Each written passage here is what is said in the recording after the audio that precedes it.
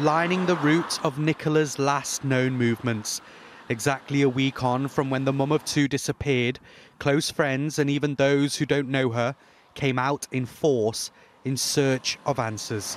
Uh, including Nicola's partner Paul. Speaking publicly for the first time, he said he's been living in perpetual hell.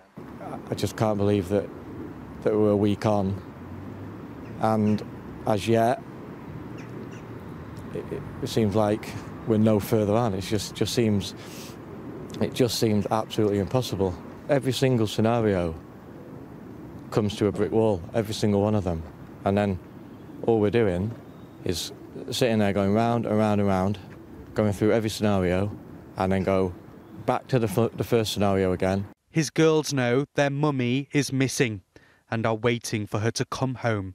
My whole focus is our two girls, just staying as strong as I can for them.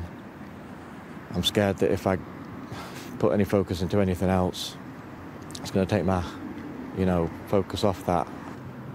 It is as though she has vanished into thin air. Like, yeah, just it, just insane. And as the days go on, police say their concerns for Nicola's whereabouts increase.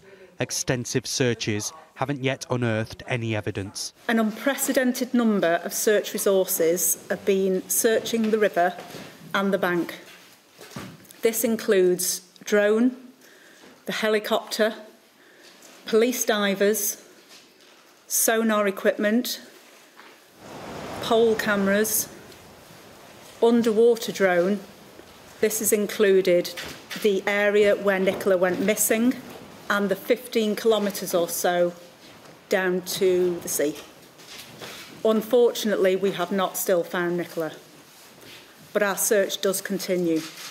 Investigators believe there is no one else involved in her disappearance or any signs of criminal activity so what happened to this missing dog walker? Police have narrowed down a 10 minute window in which Nicola was unaccounted for. It was in that short space of time she disappeared. They believe she did not leave this area and now their investigation is based on the theory she fell in to a very deep and cold river.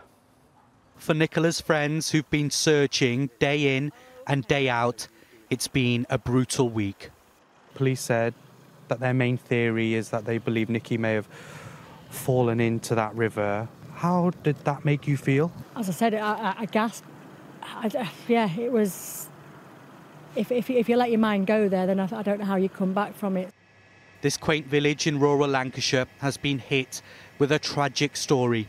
Amidst all the mystery of this case, one thing remains clear hope is not in short supply, and Nicola's heartbroken family still believe she'll be home soon.